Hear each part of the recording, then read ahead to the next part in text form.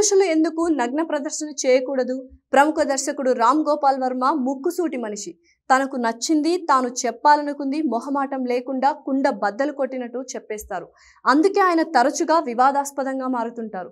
ఒక్క మాటలో చెప్పాలంటే ఆయన నోటి నుంచి ఏ మాట వచ్చినా అది ఏదో రకంగా కాంట్రవర్సీ అవుతుంది. ఎవరో ఒకరు దాన్ని వివాదం చేస్తుంటారు. ఆయన కూడా ఉన్నట్టుండి ఒక్కసారిగా బాంబ్ పేల్చినట్టు ఏదో ఒక వివాదాస్పదం అయ్యేలా వ్యాఖ్యలు చేయడమో పోస్టులు పెట్టడమో చేస్తుంటారు. అది మీడియాలో బ్లాస్ట్ అవుతుంటుంది.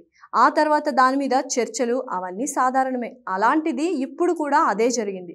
రణ్వీర్ సింగ్ ఇటీవల ఓ మ్యాగజైన్ కోసం ఒంటిపై నూలు పోగు కూడా లేకుండా నగ్నంగా ఫోటోషూట్ చేయించుకున్నారు. ఈ ఫోటోలను ఆయనే సామాజిక మాధ్యమాల్లో పోస్ట్ చేశారు.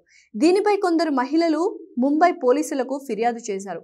ఆ నటుడి చర్యను కొందరు సమర్థిస్తుంటే కొందరు విమర్శిస్తున్నారు. రణ్వీర్ సింగ్ మద్దతుదారుల్లో ఇప్పుడు వర్మ కూడా చేరిపోయారు.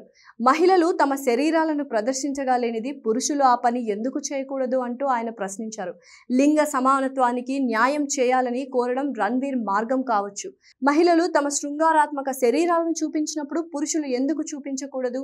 మగవారిని భిన్న ప్రమాణాలతో చూడటం కపటం. మహిళలతో సమానంగా మగవారికి హక్కులు ఉన్నాయి అని రామ్ గోపాల్ వర్మ ఓ మీడియా సంస్థతో అన్నారు. అది ఇప్పుడు చర్చనీయాంశంగా మారింది.